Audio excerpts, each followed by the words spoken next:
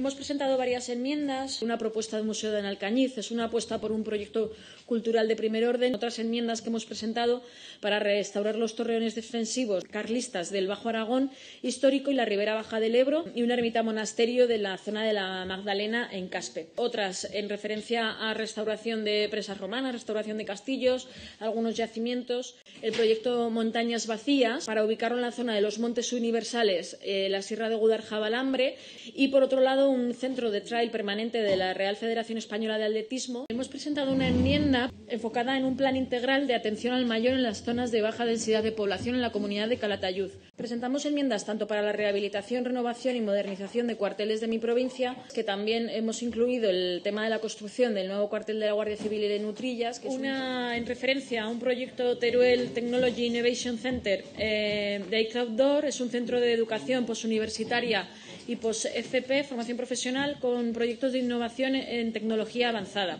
Por otro lado, habíamos presentado una, una enmienda de un nuevo centro de operaciones de ciberseguridad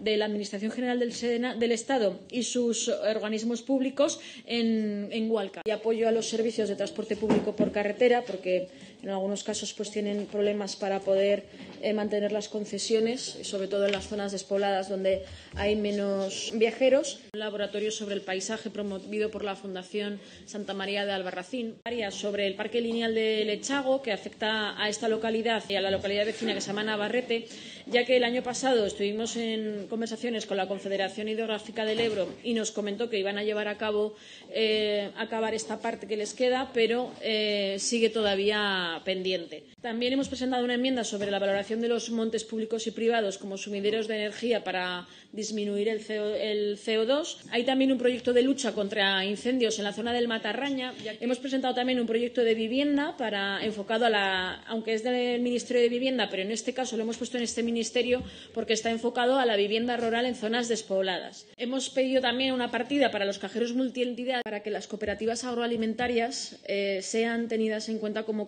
comunidades energéticas